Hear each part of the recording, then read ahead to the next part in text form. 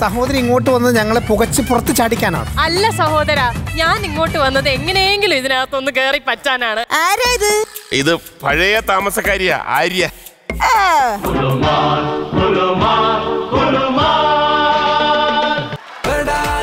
ബംഗ്ലാവ് ഇനി മുതൽ ശനിയാഴ്ചകളിൽ രാത്രി പത്ത് മണിക്ക്.